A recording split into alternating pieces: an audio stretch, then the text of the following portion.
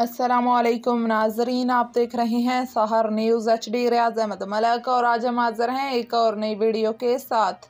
नाजरीन, चकवाल की सियासी दुनिया में एक ज़बरदस्त धमाका हुआ है, जिसमें तलागंग के एक शहरी ने अदालत में तमाम उम्मीदवार पर एतराज़ कर दिया। कि ये उम्मीदवार सियासत के अहल नहीं। नाजरीन, इससे कबल के हम अपनी वीडियो का आगाज़ करें। आपसे गुजारिश है कि हमारी इस वीडियो को मुकम्मल देखिएगा।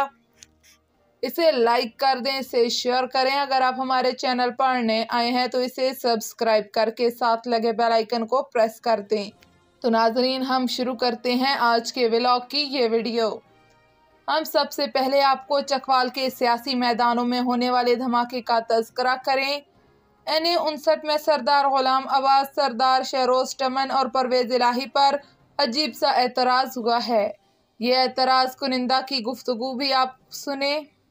अल्लाम मैंने बतौर वोटर अपनी जिम्मेदारियाँ अदा करते हुए एक दरख्वास्त दायर की है कि जो उम्मीदवार इलेक्शन में हिस्सा लेना चाहते हैं तो पाकिस्तान के कानून सिक्सटी टू पर ये पूरे नहीं उतरते। मैंने ये दरख्वास्त दी है कि ये क्वालिफाई नहीं करते। जो हमारे इलाके के उम्मीदवार हैं चौधरी परवेज़ लाई और मंसूर हयार टमन शरोज़ खान और अब्बास खान। तो मैंने जो है इतराज़ किया है कि ये लोग नंबर एक इस्लामी तालीमत का खातर ख्याल नहीं रखते। मैं इनसे नमाज़ के बारे में मसाइल पूछूँ तो ये नहीं बता सकते, न रोज़े के बारे में बता सकते हैं, ना तहारत के बारे में बता सकते हैं, ना वज़ू के इनको मसाइल का इल्म है। कुरान पाक सही पढ़ना नहीं जानते, ना ज़क़़त के मसाइल जानते हैं।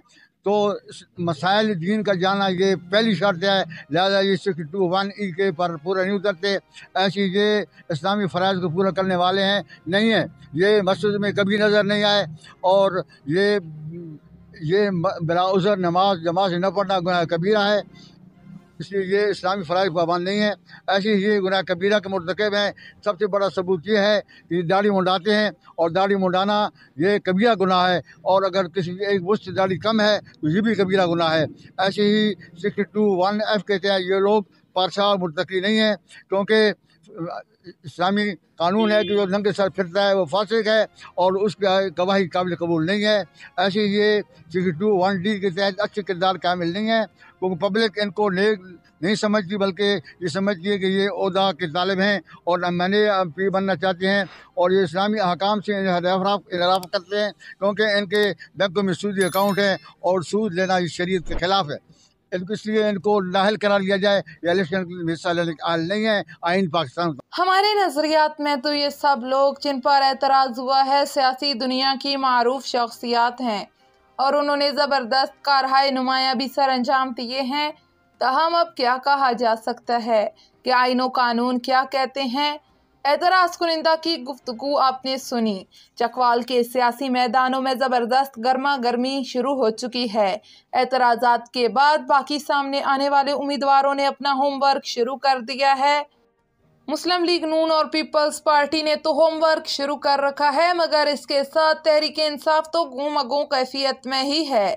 तो दूसरी जानब, चकवाल की सियासत में तहरीक लबैक भी इस मरतबा अहम किरदार अदा करने की पोजीशन में है। हल्का पीपी बीस में डॉक्टर शफकत महमूद, हल्का पीपी इक्कीस में अलामा मोहम्मद उमर नक्शबंदी, हल्का पीपी बाईस मलक अदरीस सरकलान, हल्का पीपी तेईस पीर शाह हमदानी, हल्का एन ए अठावन में राजा सुहेल सत्ती, हल्का एन ए उनसठ में मेजर याकूब सैफी उम्मीदवार हैं, जो सियासत में ज़बरदस्त वर्क कर रहे हैं। इसके साथ ही आपको एक और अहम खबर से आगाह करते हैं कि Kallar Kahar salt range motorway पर कलर कहार से लाहौर जाने वाला सीमेंट से लदा हुआ बोजर उलट गया, जिसके नतीजे में चार अफराद जख्मी हो गए।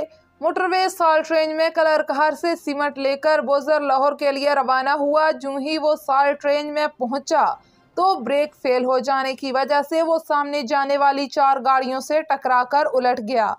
इतला मिलते ही मोटरवे पुलिस मौके पर पहुँची। जख्मियों को अस्पताल मुंतकिल करके ट्रैफ़िक को बहाल कर दिया। नाजरीन, आपको एक और ख़बर से आगाह करते हैं कि शहनशाह तामीरात सबक सूबाई वज़ीर मलक तनवीर असलम ने मोहल्ला मुजफ्फराबाद के मकीनों का मुतालबा पूरा कर दिया। मोहल्ला मुजफ्फराबाद वछाल कलान के मकीनों का दरीना मुतालबा था कि इनकी सड़क पुख्ता की जाए।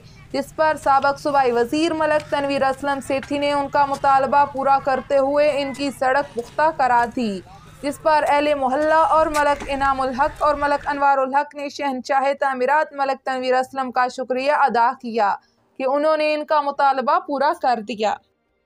तलागंग के नाम एक और एजाज़। रावलपिंडी डिस्ट्रिक्ट बार में भी वाईएलसी की धूम। तलागंग मुल्तान खुर्द से ताल्लुक़ रखने वाली एडवोकेट फ़ायज़ा इकबाल बिला मुकाबला मुंतब हो गईं।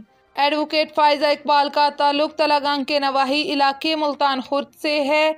इनकी बतौर लाइब्रेरी सेक्रेटरी मुंतब होकर न सिर्फ़ इलाके का नाम रोशन किया, बल्कि इलाके के तमाम नौजवान वकला के लिए हौसला अफजाई भी की।